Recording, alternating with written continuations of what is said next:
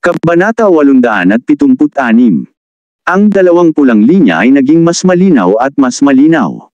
Tinawid nila ang mga balikat ni Blake Darby at dahan-daang kumalat sa kanyang dibdib.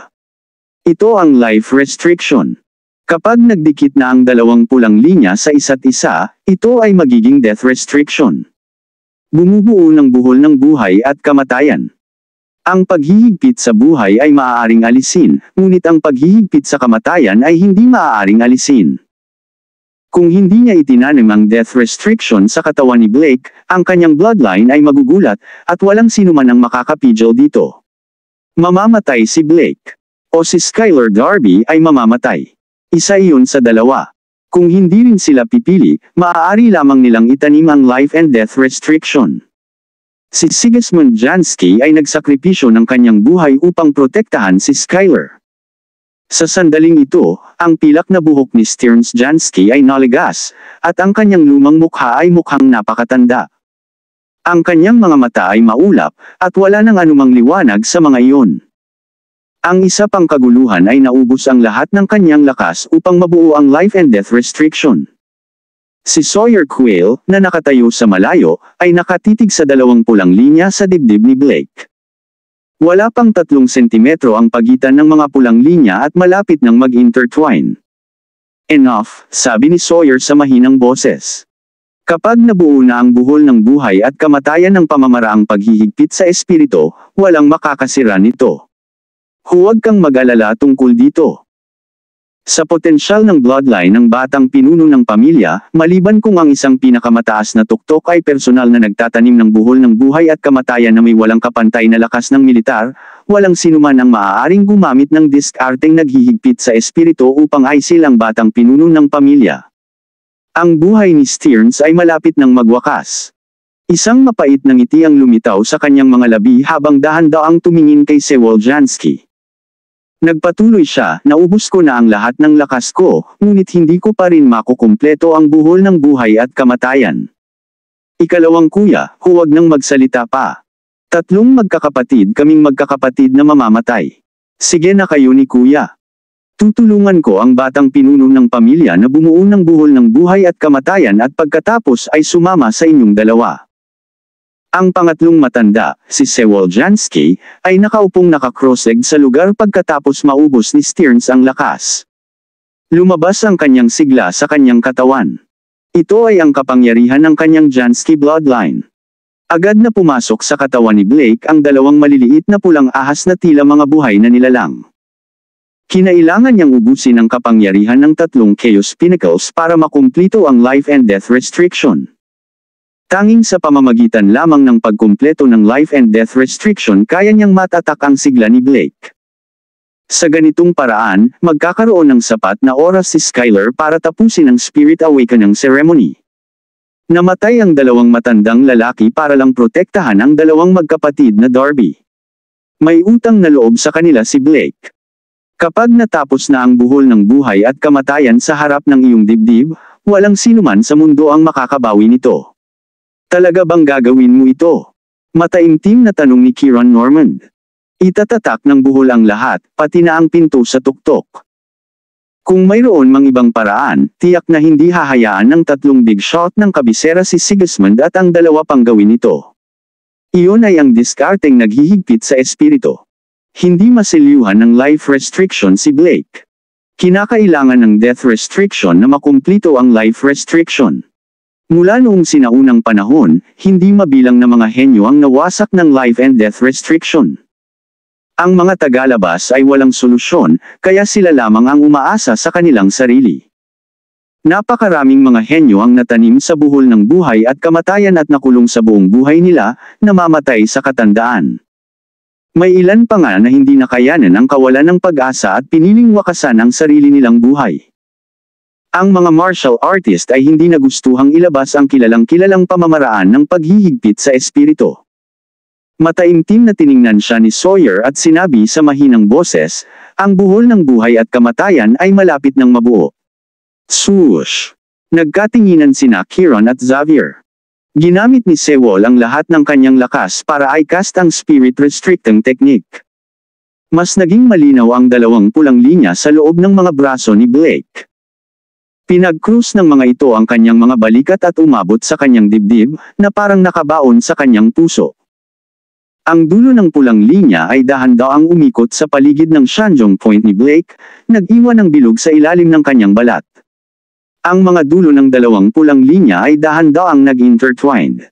Magkasama silang bumuo ng isang bilog. Ang dalawang pulang linya ay nagkonekta at bumuo ng isang kumpletong pulang linya. Ang diskarteng naghihigpit sa espiritu, tagumpay. Sa sandaling nabuo ang buhol ng buhay at kamatayan, bahagyang nanginig ang katawan ni Blake. Lahat ng kapangyarihan niya ay tila nakatago sa kaibuturan ng kanyang katawan magpakailanman. Walang sino man ang nakakaramdam ng kaunting pagbabago bago ng kanyang sigla. Dahan-daang iminulat ni Blake ang kanyang mga mata at tumingin sa tatlong matandang lalaki na naubusan ng lakas. Dahan-dahan siyang tumayo at mahinang nagsabi, pinuprotektahan ng tatlong matandang ginoo ang aking nakababatang kapatid sa kanilang buhay. Utang sa kanila ng pamilyang Darby ang pabor na ito. Kung magtatagumpay ako sa hinaharap, tiyak na lilikha ako ng sampung higit pang pinakamataas na talento para sa pamilya Jansky. Dahan-daang tumayo si Blake at bahagyang yumuko.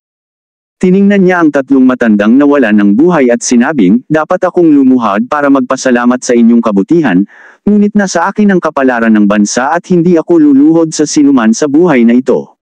Mga ginoo, naway magpahinga kayo sa kapayapaan. Tumayo si Blake habang nasa likod ang mga kamay at bamantong hininga.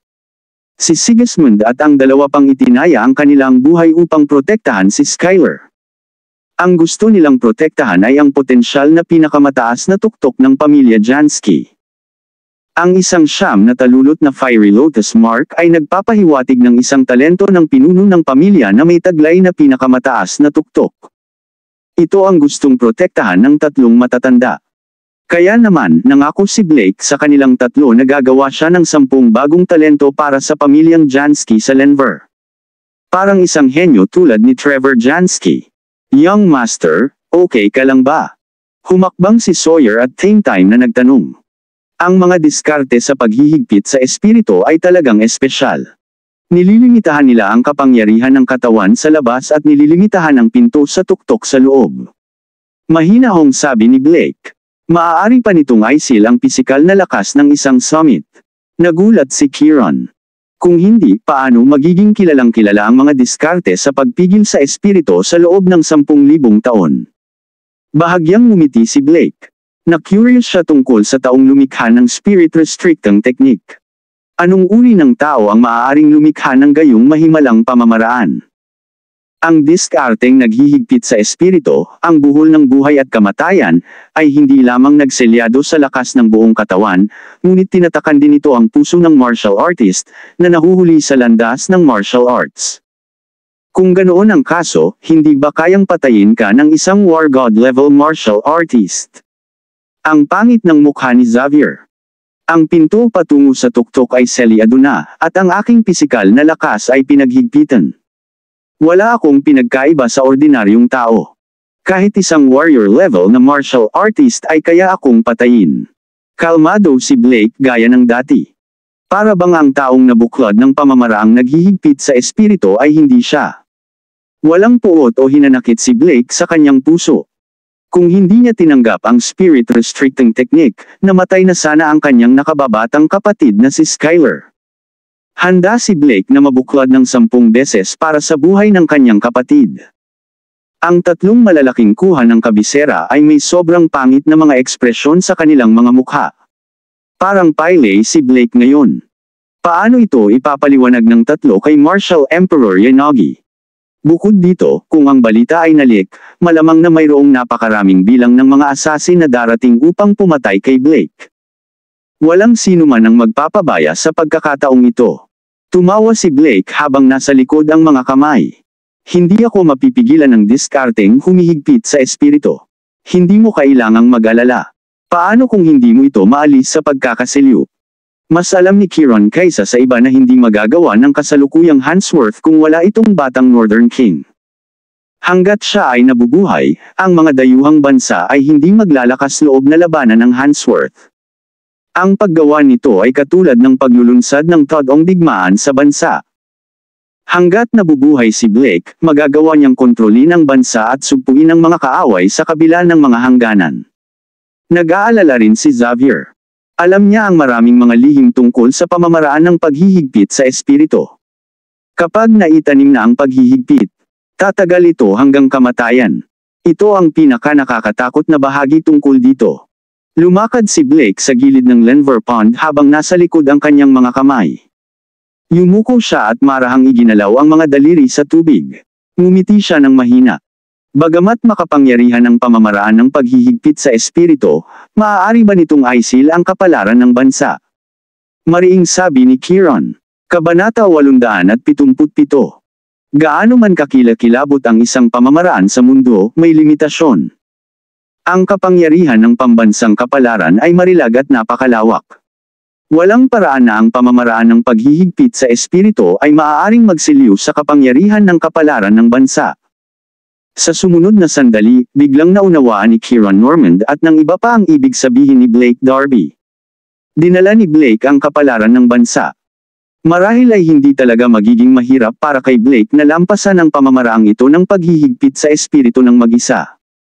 Maaaring masil ng mga diskarteng naghihigpit sa espiritu ang lahat ng tao sa mundo. Ngunit si Blake ay hindi madaling masil. Walang paraan na masiliuhan nito ang kapangyarihan ng kapalaran ng bansa sa katawan ni Blake. Isang himala na ang masil nito kahit sa maikling panahon. Hindi posibleng masil si Blake sa natitirang bahagi ng kanyang buhay. Dati, si Sigismund Jansky at ang dalawa pa ay gumamit ng spirit restricting technique, na nagdulot ng panlabas na enerhiya na pumasok sa katawan ni Blake. Hindi man lang lumaban si Blake. Sa halip, binuksan niya ang kanyang isip at hinayaan ang kanyang sarili na pigilan. Kung hindi man, kung hindi payag si Blake na tanggapin ang diskarteng naghihigpit sa espiritu. Kahit na mamatay si Sigismund at ang dalawa pa, hindi nila matagumpay na may hagis ang pamamaraan ng pagpigil sa espiritu. Ang antas ng kahirapan at pagkonsumo ng enerhiya ay tiyak na tataas ng sampung beses. Noong ginamit ang pamamaraan ng paghihigpit sa espiritu, hindi man lang lumaban si Blake. Sa halip, pinigilan niya ang lahat ng kanyang lakas. Iyon ang dahilan kung bakit ang pamamaraan ng paghihigpit sa espiritu ay maaaring magamit ng maayos. Dahan-daang ginalaw ng mga daliri ni Blake ang tubig ng pond, parang nakita na niya ang sekreto dito. Tumayo siya at mahinang sinabi, maganda ang underground spirit spring na ito. Espiritu Spring. Nagulat si Xavier Leach. Sa ngayon, bihira ang mga halamang espiritu, at ang mundo ay likas na nabuo ang mga bukal ng espiritu. Noong unang panahon, ito ay isang bihirang lugar. Karaniwang mayroong isang napakataas na tuktok na nagbabantay dito, at ito ay isang lugar para sa isa upang linangin sa pag-iisa. Gayunpaman, sino ang mag-aakala na mayroong espiritong bukal sa ilalim ng Lenver Pond? Hindi katakataka na ang pamilyang Jansky sa Lenver ay nag-alaga ng mga henerasyon ng mga pinnacle martial artist. Kung walang mga espiritual na sangkap, gaano man katalino ang isang pinnacle martial artist, ang paglago ng kanilang lakas ay magiging lubhang mabagal. Pagkatapos ng lahat, ang isa ay hindi maaaring lumago ng walang pagkain. Sinabi ni Sawyer Quayle, kung saan mayroong espiritong bukal, dapat mayroong espiritual na ugat sa ilalim ng lupa. Kung saan may espiritual na ugat, dapat may kasamang minahan, minahan ng espiritong bato. Bakas sa mga mata ni Kiran ang pagkaingit. Ito ay isang hindi mabibaylang kayamanan. Tumangala si Blake sa estatwa na may taas na pitong metro at sinabi, ang bukal ay nasa paanan ng rebulto. Napakaswerte ng pamilyang Jansky ni Lenver. Sabi ni Xavier na may halong selos. Si Skylar Darby, na nakatayo sa itaas ng palad ng estatwa, ay kalahating hubad. Namumula ang kanyang balat, at ang kanyang mga daluyan ng dugo ay parang mga dragon na nakapulupot sa kanyang mga braso. Matagal nang nakataas ang kumukulong kapangyarihan sa kanyang katawan. Ang mga alon ng init na nagmumula sa kanyang katawan ay sumalakay sa kanyang mukha. Skyler, pumasok ka sa lawa. Sigaw ni Sheridan Jansky. Swoosh! Ang estatwa na may taas na pitong metrong hugis tao ay parang inukit sa isang higanteng bato. Sa totoo lang, may mekanismo sa loob. Ang malaking braso ng rebulto ay nakatalikod, at ang palad nito ay nakaharap pababa, na hinampas si Skyler sa malinaw na lawa. Ang Spirit Awakening Ceremony ay umabot na sa huling hakbang. Tumayo si Skyler at pumasok sa tubig, lumikha ng sunod-sunod na splashes. Matapos makapasok sa tubig, napagtanto ni Skyler na ang kapangyarihang nakapaloob sa Lenver Pond ay ang pinaka nakakatakot sa lahat. Ang espiritual na enerhiya na nakapaloob sa tubig ay isang daang beses na higit pa kaysa sa ambon ng espiritu. Napuno ito ng espiritual na enerhiya na umagos sa katawan ni Skyler. Biglang iminulat ni Skyler ang kanyang mga mata sa tubig. Namumula pa rin ang kanyang mga mata, at malabo niyang nakikita ang espiritual na kapangyarihan na natipon sa tubig, tulad ng mga bituin sa langit. Nagtipon ang mga tuldok ng liwanag at damaloy sa kanyang katawan. Ang huling hakbang ng Spirit Awakening Ceremony. Pinalabas nito ang sigla ni Skyler sa kanyang katawan at tumulo mula sa kanyang mga pores. Ang tubig sa paligid ay agad na naging maputlang pula. Si Sheridan ay hindi nang ahas na magambala. Tumayo siya sa ibabaw ng tubig at pinanood ang eksenang ito. Kapag nawala na ng kontrol si Skyler sa kanyang sigla, tiyak na mapipilitan siyang mamagitan at tutulungan si Skyler na sugpuin ang hindi mapakali na kapangyarihan. Ito ang dahilan kung bakit kailangan ng Spirit Awakening Ceremony ng pamilya Jansky ang proteksyon ng isang malakas na tao. Ang may-ari ng isang three-petal na Fiery Lotus Mark ay maaaring kumalat sa kanilang sigla sa loob ng 30 meter radius, at ang may-ari ng isang anim na petal na Fiery Lotus Mark ay maaaring kumalat sa kanilang sigla sa loob ng 60 meter radius, mataimtim na sinabi ni Sheridan. Hanggang saan kaya umaabot ang bloodline power ng may-ari ng 9-petal Fiery Lotus Mark? Hindi alam ni Sheridan, dahil hindi pa niya ito nakita. Ito rin ang unang pagkakataon na nakakita si Sheridan ng isang taong may nine petal na fiery lotus mark. Nang matapos siyang magsalita, ang nakakatakot na kapangyarihan sa katawan ni Skyler ay tuluyan ng nailabas. Gamit ang Lenver Pond bilang suporta, ang kapangyarihan ni Skyler ay kumalat palabas ng hindi sinasakta ng sarili. Mabilis na napuno ng malabong pulang kulay ang buong Lenver Pond. Sa Skyler bilang core, Kumalat ito sa 10 metro, 20 metro, 50 metro, 60 metro. 70 metro. Ang pangunahing bahagi ng malaking Lenver Pond ay napuno ng pulang dugo. Napakalaking kababalaghan. Ito rin ang unang pagkakataon na nakakita ng ganoong bagay si Sheridan. Napabulalas siya, ito ba ang potensyal ng may-ari ng isang siyam na talulot na Fiery Lotus Mark? Mula nang isinilang ang pamilyang Jansky ni Lenver sa sinaunang lungsod ng Lenver, wala pang miyembro ng pamilya na may talento ng isang pinakamataas na tuktok. Ang mga miyembro ng pamilyang Jansky ay nasa buong mundo. Sina Jover, Kat Dyson at Dilford ay may mga tao mula sa pamilyang Jansky. Si Lenver lang ang hindi kailanman nagkaroon ng henyo na may siyam na talulot na Fiery Lotus Mark.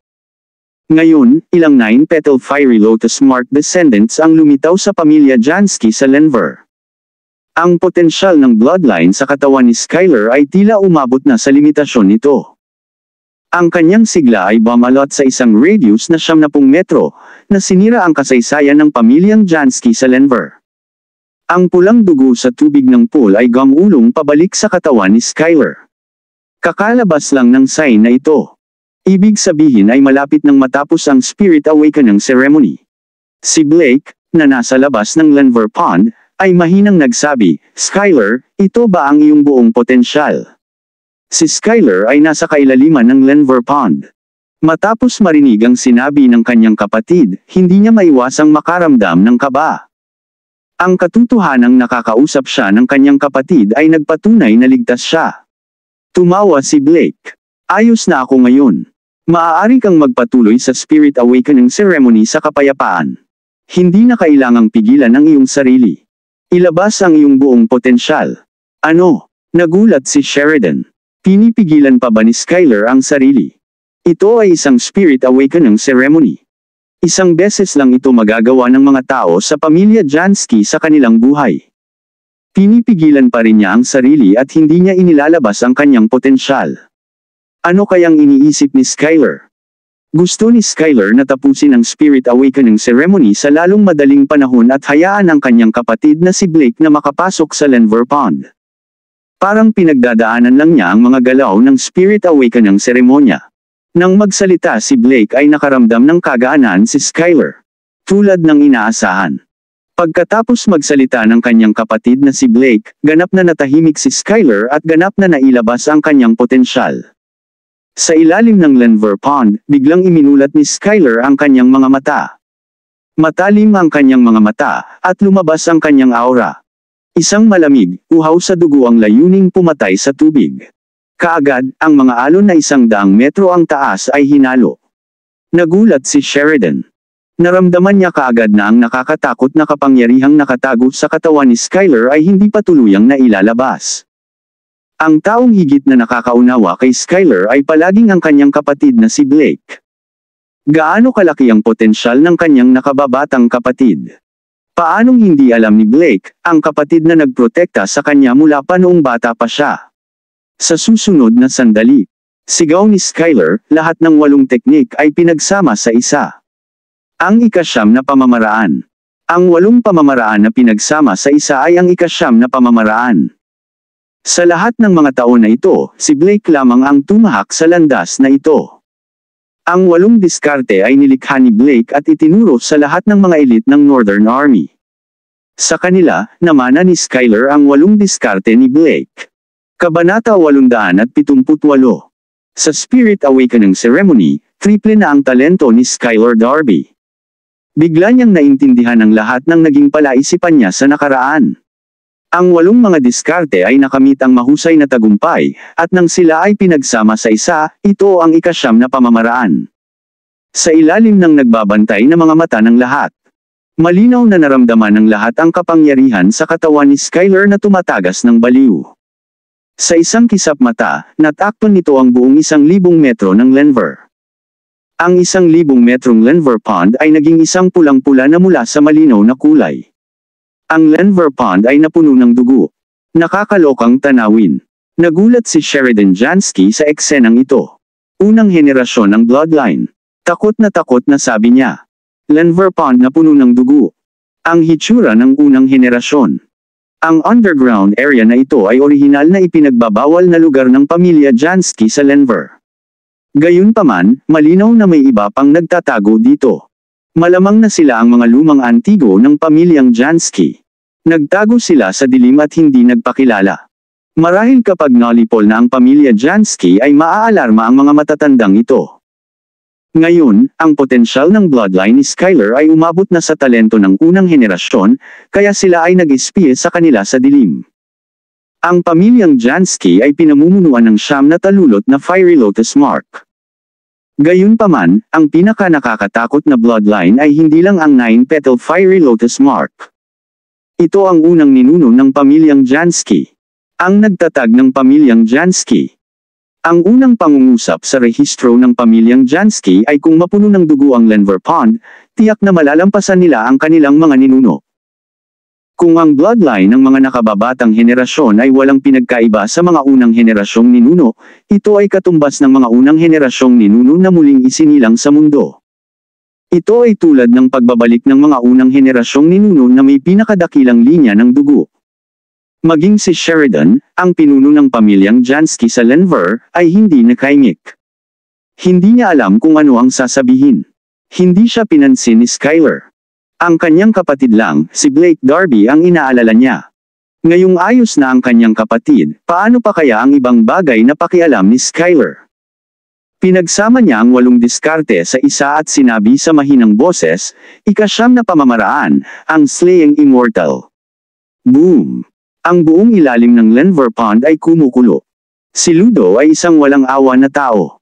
Pinagsama niya ang kapangyarihan ng walong diskarte at ipinakita ang ikasyam na pamamaraan. Sa panimula ito ay naiiba sa ikasyam na pamamaraan ni Blake, ang Banished Immortal. Ang ikasyam na pamamaraan ng Ludo ay nakatuon sa layuning pagpatay. Ang ikasyam na pamamaraan ay isang tagumpay.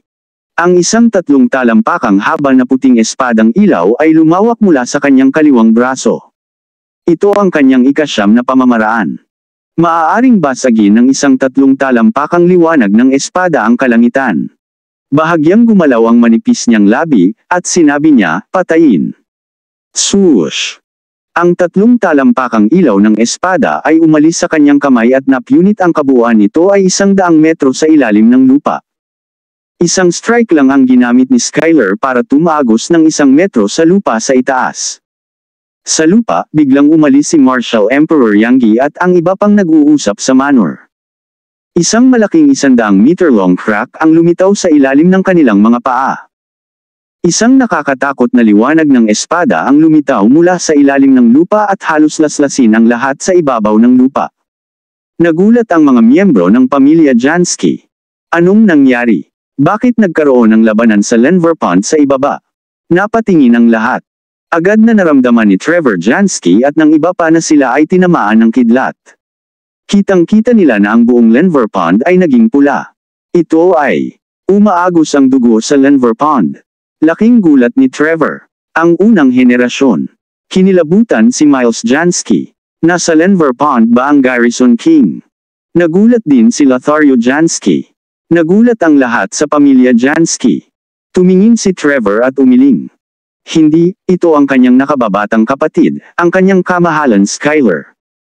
Ano, ang mga miyembro ng pamilya Jansky ay natigilan. Masyadong nakakatakot ang pamilya Darby. Mayroon lamang dalawang lalaki mula sa direktang linya ng pinaggalingan, ngunit pareho silang may talento na lumalaban sa langit. Pareho sa mga direktang inapo ng pamilya Darby ay mga pinakamataas na talento.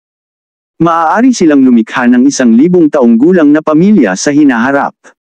Sa manor, tumawa si Marshal Monarch Yanogi at sinabing, haha. Gaya ng inaasahan sa mga inapo ni Beckett.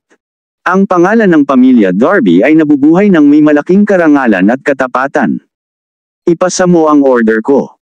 Mula ngayon, ang commander ng ikasampung Legion ng Northern Army, si Skylar Darby, ay bibigyan ng titulo ng Garrison Marquis ng Hansworth. Ang utos ni Marshal Emperor Yanogi ay isang pambansang kautusan. Ang isa pang tao mula sa Northern Army ay ginawaran ng titulo. Ang isa sa mga anak ng pamilya Darby ay ang Haring Garrison, ang isa naman ay ang Garrison Marquis. Ang pamilya Darby ay napuno ng kaluwalhatian. Sa Lenver Pond, ang talento ni Skyler ay nadagdagan ng ilang beses. Pinagsama-sama niya ang walong diskarte ng sabay-sabay at nilikha ang ikasyam na pamamaraan, ang Slaying Immortal. Ang nakakasakit na kapangyarihan nito ay malamang nahigit sa ipinagbabawal na pamamaraan, Heaven Splitting. Si Blake, na nasa tabi ng Lenver Pond, ay tumagilid ang ulo at bahagyang kumunat ang ilong. Natawa siya at sinabing, ang pangsyam na pamamaraan ng brat na ito ay ang slaying walang kamatayan. Mukhang malaki na siya ngayon ah. Ang ikasyam na pamamaraan ng kuya ay tinawag na Banished Immortal. Ang ikasyam na pamamaraan ng nakababatang kapatid ay tinawag na Slaying Immortal. Nais bang patayin ni Skyler ang kanyang kapatid? Ang lahat ng sigla sa tubig ng pond ay muling sinipsip ng katawan ni Skyler. Ang kapangyarihan ng bloodline ay pumasok muli sa kanyang katawan, at ang kanyang potensyal ay ganap na pinakawalan. Nadagdagan na naman ang talento ni Skyler. Ang talento ni Scaveler ay napakalakas na gamitin. Hindi siya mas mahina kaysa Jonas Shaw at Freddy Anujad Ansa. Ngayon, nadagdagan ng apat na beses ang kanyang talento. Isang nakakatakot na halimaw ang ipinanganak. Siya ay tulad ng mga unang henerasyong ninuno ng pamilyang Jansky. Siya ay nakahihigit sa pinuno ng pamilya. Sa sandaling ito, isang malaking figure ang lumipad mula sa timog ng Lenver. Isa itong estatwa na may taas na pitong metro. Ang estatwa na may taas na pitong metro ay parang estatwa sa Lenver Pond. Gayunpaman, ang rebeltong ito ay nakasuot ng puti at may hawak na papel na pamaypay. Mukha itong buhay na tao. Hindi makakalipad ang mga estatwa. May tao sa ilalim ng rebulto na nagpapalipad sa rebulto. May isang binata na nakasuot ng puting damit na may puting buhok sa kanyang mga templo na mukhang mga 25 o 26 na taong gulang, ngunit ang kanyang mga mata ay puno ng mga pagbabago sa buhay. Pinatunayan nito na ang taong ito ay malamang na higit sa isang daang taong gulang. Bago dumating yung tao, nauna na yung boses niya. Narito si Dallas Jansky ng Jansky family ni Jover para magbigay galang sa batang pinuno ng pamilya. Ang binata na may puting damit na may puting buhok ay si Dallas Jansky, ang pinuno ng pamilyang Jansky sa Jover. Daladala niya ang estatwa na may taas na pitong metro sa magkabilang braso at lumipad hanggang dito. Ang paghingi ng tulong ni Lenver ay hindi lamang natanggap ni Jover. Mula sa kanluran, lumitaw ang isa pang pitong metrong taas na estatwa. Itinataas ito sa itaas ng ulo ng isang tao sa langit. Nakasuot siya ng itim at malamig na sinabi, Brixton Jansky ng Jansky Family of Kadaisen ay nagbibigay galang sa batang ulo ng pamilya. Si Chandler Jansky ng pamilyang Jansky ng Dilford ay nagbibigay galang sa batang ulo ng pamilya. Si Harford Jansky ng Jansky family ng Liston ay nagbibigay galang sa batang ulo ng pamilya. Iginagalang ni Catherine Jansky ng pamilyang Jansky ng Yainville ang batang ulo ng pamilya. Clara Jansky ng Jansky family of Juniper ay nagbibigay galang sa batang ulo ng pamilya. May kabuuang 35 boses ang umalingaw sa buong Jansky family manor sa Lenver. Grabing eksena talaga. 35 estatwa na may taas na 7 metro ang lumulutang sa hangin. Pagkatapos ay ibinaba sila sa lupa sa pamamagitan ng isang daan-daang metrong taas na bitek sa lupa, tuloy-tuloy na lumapag sa Lenver Pond. Dumating na ang lahat ng 35 direktang inapo ng pamilyang Jansky. Bilang karagdagan sa angkan ng Lenver. Nandito ang lahat ng 36 na sangay ng pamilyang Jansky. Ang mga taong dumating ay pawang mga ulo ng pamilya, at wala sa kanila ang mas mahina kaysa kay Sheridan. Dumating na rin ang mga tao mula sa Mount Sino. Wilbur Jansky, ang bunsong tiyuhin ni Blake. Sa isang iglap, ang mga eksperto ay natipon sa Jansky family manor sa Lenver. Tumayo si Marshal Emperor Yanagi habang nasa likod ang kanyang mga kamay. Nanlamig ang kanyang mga mata habang walang ekspresyong sinabi, hindi kasalanan ni Blake kung bakit gusto niyang patayin ang mga martial artist ng apat na entity. Ang mag-isang pamilyang Jansky ay sapat na para mayanig ang pundasyon ng bansa. Sinabi ng Brat na iyon na kapag ang pamilya Jansky ay hindi nagpasakop sa kabisera, hindi siya makakatulog sa gabi. Hinaplos ni Whitney Jansky, na nasa tabi niya, ang matabang orange na pusa sa kanyang mga bisig at mahinang sinabing. Kabanata 870 Tinanggap ng Jansky Manor ang 12-dosenang mahahalagang tao. Nang walang pagbubukod, lahat sila ay mga kinatawan ng pamilyang Jansky. Walang mga mahina. Lahat ng mga ito ay pinnacles. Bawat isa sa kanila ay may dalang estatwa, na nangangahulugan na ang Spirit Awakening Ceremony ng mga disipulo ng pamilya Jansky ay malapit na nauugnay sa pitong metrong taas na estatwa ng humanoid. Natigilan si Trevor Jansky. Ipinaalam lamang nila ang mga miyembro ng pamilya ni na Jover, Kat Dyson at Dilford. Bakit nandito ang lahat? Iisipin ng mga hindi nakakaalam na ang pamilya Jansky ay magdaraos ng seremonya ng pagsamba sa mga ninuno. Para sa lahat ng maharlikang pamilya, ang pinakamahalagang kaganapan ay ang kanilang seremonya ng pagsamba sa mga ninuno. Pagsamba sa mga ninuno. Gayunpaman, ang ganitong uri ng seremonya ay karaniwang ginaganap pagkatapos ng bagong taon. Hawak ni Wilbur Jansky ang isang pitong metrong taas na estatwa sa kanyang kamay. Ang estatwa ay may hawak na mahabang espada at parang emperador ng espada. Kahit na ito ay isang estatwa, ito pa rin ang nagpatakot sa mga tao. Ipinadala niya ang rebulto sa Lenver Pond sa ibaba. Nang makita ni Wilbur ang Lenver Pond, nagsikip ang kanyang mga mag-aaral, at sinabi niya sa seryosong boses, dugo ang bamaha sa Lenver Pond, ang hitsura ng unang henerasyon ng mga ninuno.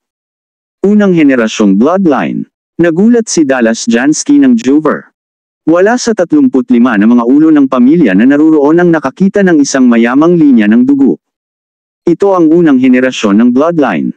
Iyon ang bloodline potential ng kanilang unang ninuno.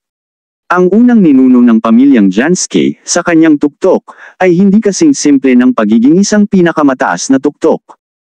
Ang lahat ng mga ulo ng pamilya ay pumasok sa Lenver Pond sa isang iglap. Ang lupang ninuno ng pamilyang Jansky sa Lenver. Maliban kay Sheridan Jansky, hindi pinapayagang makapasok ang mga tagalabas. Gayunpaman, ang 35 big shot na ito ay pawang mga taong kumokontrol sa kani-kanilang mga lahi. Ang kanilang katayuan ay hindi gaanong mababa kaysa kay Sheridan. Sabay silang bumaba sa Lenver Pond at hindi pinansin ang Martial Emperor Yanagi. Ganyan ang mga martial artist ng mga aristokratikong pamilya. Bilang isang nakatagong puwersa sa paglilinang, ang pamilyang Jansky ay sa huli ay isang martial arts aristokratikong pamilya. Sila ang maharlikang pamilya na may hawak ng pinakadakilang kapangyarihan sa mga aristokratikong pamilya. Isang daang metro sa ilalim ng lupa, sa Lenver Pond. Hubad ang itaas na bahagi ng katawan ni Skylar Darby, at bumalik sa kanyang katawan ang siglang kumalat sa lawa. Hindi tumaas ang kanyang sigla. Gayunpaman, ang potensyal ng katawan ni Skylar ay ganap na inilabas, at ang kanyang talento ay nadagdagan ng apat na beses. Ang mga benepisyo ng pagtaas ng talento ng isang tao ay lumitaw na. Si Garrison Marquis Skyler ay pangalawa lamang kay Blake Darby. Siya ay isang henyo na pinagkadalubhasaan ang walong pinnacle technique at nabuo ang ikasyam na pamamaraan. Ang paglikha ng ibang ikasyam na pamamaraan ay nangangahulugan na si Skyler ay nagsimula sa kanyang sariling martial arts path. Mabilis na nabawi ng Lenver Pond ang kailanawan nito. Wala ng dugo sa tubig. Si Skyler ay lumusot sa tubig at hinalo ang isang daang metro ng mga alon. Basang-basa ang buong katawan niya. Tumapak siya sa tubig at naglakad sa gilid ng lawa. Marahan niyang kinuha ang maskara niyang multo at tumayo sa harap ni Blake. Mahina niyang sinabi, Kuya. Ikaw brat, matanda ka na. Magiliw na sinabi ni Blake, kapag nakita ko si third uncle sa hinaharap, mabibigyan ko siya ng paliwanag. Kuya, ikaw na. Nadagdagan ng apat na beses ang talento ni Skyler. Nangangahulugan ito na mayroon siyang espiritual na talento. Hindi siya mas mahina kaysa sa kapatid niyang si Blake. Ngayon, turn na ni Blake para isagawa ang Spirit Awakening Ceremony. Hindi ako nagmamadali para sa aking Spirit Awakening Ceremony. Marahang umiling si Blake. Anong mali? Naramdaman ni Skyler na may nangyari sa kanyang kapatid na si Blake sa proseso ng kanyang Spirit Awakening Ceremony. Handang tanggapin ng iyong kapatid ang life and death restriction upang maprotektahan ka sa pamamagitan ng pagsupil sa kanyang sigla, sabi ni Kira Norman sa mahinang boses. Ano? Ang mga mata ni Skyler ay napuno ng layuning pumatay. Sa kanyang galit, ginamit niya ang walong pamamaraan. Ang ikasyam na pamamaraan, ang Slaying Immortal Sword Light, ay namuo sa kanyang kaliwang kamay. Itinutok ni Skyler ang kanyang espada kay Kiran at malamig na sinabi, Ikaw ba? Hanggat si Kiran ay naglakas loob na tumanggo, si Skyler ay maglalakas loob na patayin siya sa isang hampas. Ito ay ang life and death restriction, isang napakasamang ipinagbabawal na pamamaraan. Ang lakas ng loob ng mga taong ito na gamitin ito kay Blake. Sila iyon. Mahinahong sabi ni Kiran. Swoosh. Napatingin si Skyler kina Sigismund Jansky, Stearns Jansky at Sewol Jansky na nakakrosslegged sa hindi kalayuan. Skyler, ikalat ang ikasyam na pamamaraan.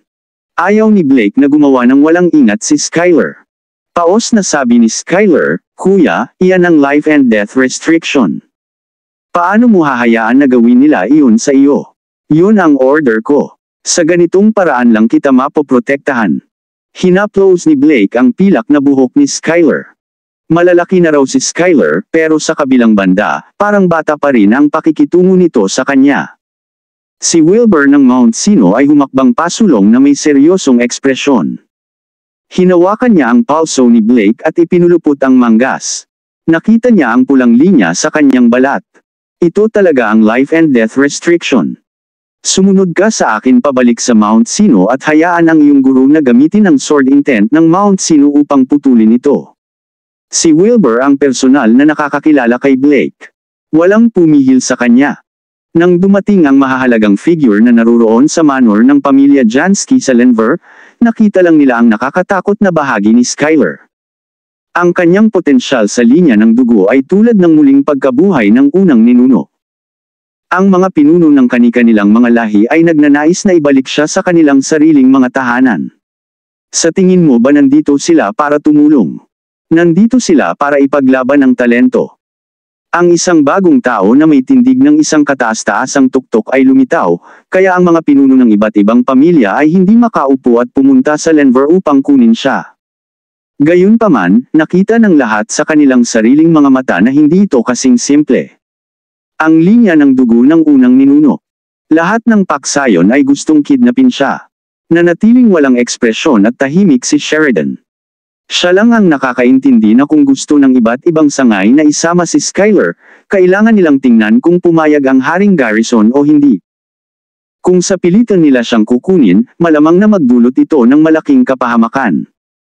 Ang mga elite ng Northern Army ay tiyak na lalabas at magdedeklara ng digmaan sa pamilya Jansky. Kaya naman, si Dallas at ang iba ay lahat ay nakatutok kay Skyler, kaya hindi nila masyadong pinansin si Blake. Hindi nila alam na ang pinakapangit na tao na naruroon ay ang kabataang ito na nakasuot ng puting damit. Ang kapangyarihan ng bloodline na nakatago sa kanyang katawan ay higit pa sa inaasahan ng lahat. Nakita ni Dallas na may malapit na relasyon sina Skyler at Blake, kaya nagkusa siyang magtanong, nakabuo ba ng life and death knot ang iyong life and death restriction? Kung wala ang buhol, paano masusugpo ang bloodline ni Blake? Tumayo si Marshal Emperor Yanagi sa lupa habang nasa likod ang kanyang mga kamay at tumingin sa Lenver Pond sa ibaba. Guro, ayos lang ako. Mahinang sabi ni Blake. Mabuti yan. Nakumpleto na ang Spirit Awakening ceremony ni Skyler. Ikaw na. Tumayo si Marshal Emperor Yanagi habang nasa likod ang kanyang mga kamay.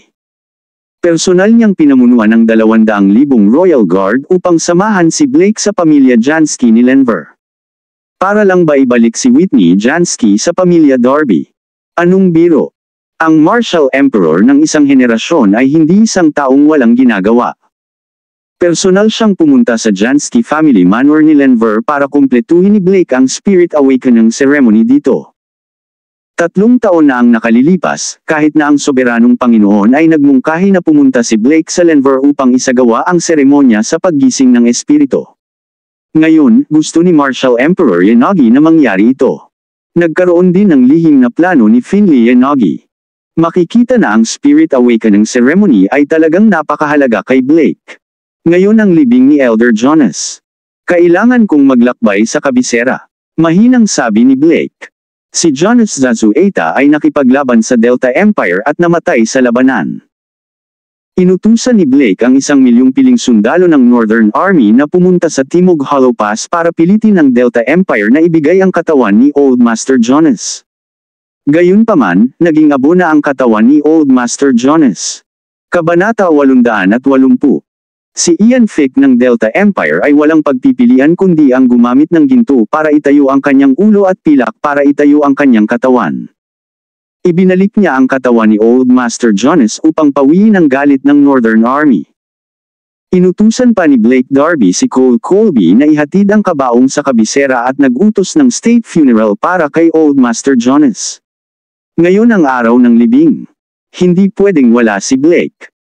Napuno ng dignidad ang mukha ni Marshal Emperor Yanagi habang sinabi niya, si Dominic at ang ilang mga deputy commander ng Northern Army ay naruroon lahat para sa libing ni Elder Jonas.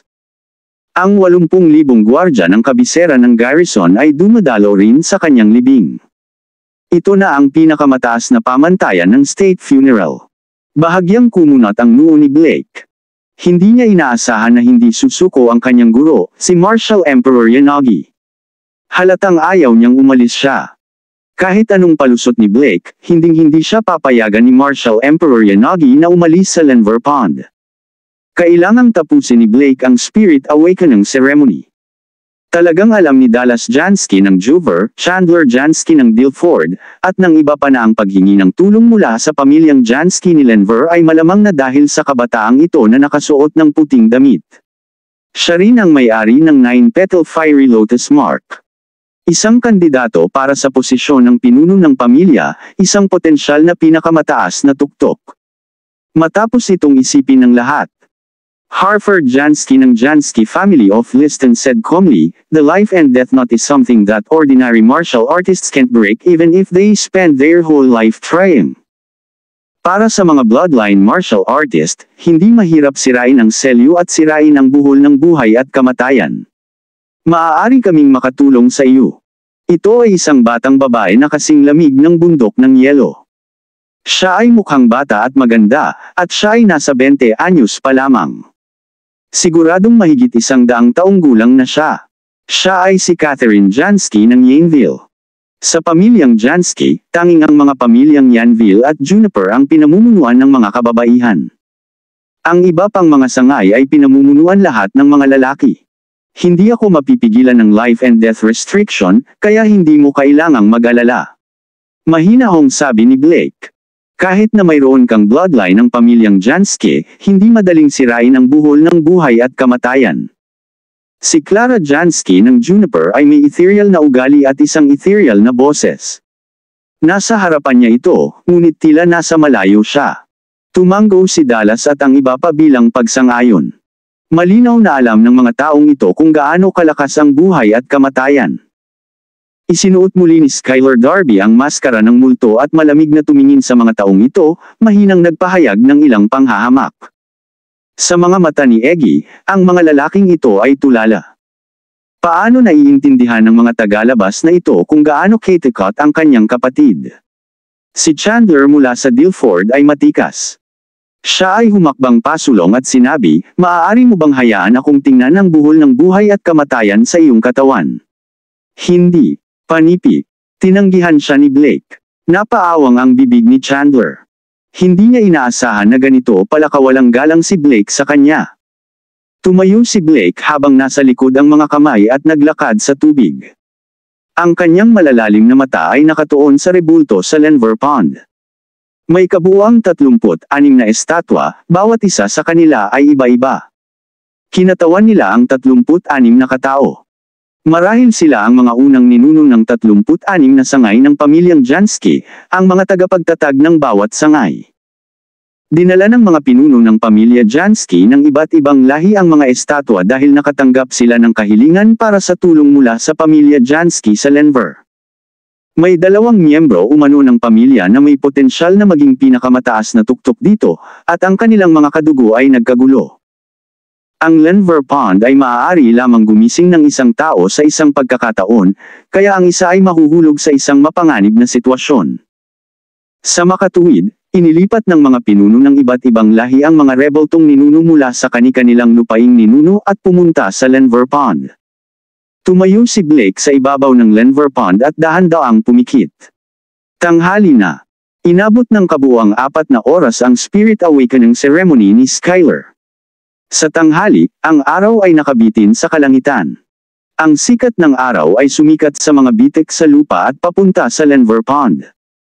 Pumikit si Blake at dahan-daang pinakawala ng pagsupil sa kanyang katawan.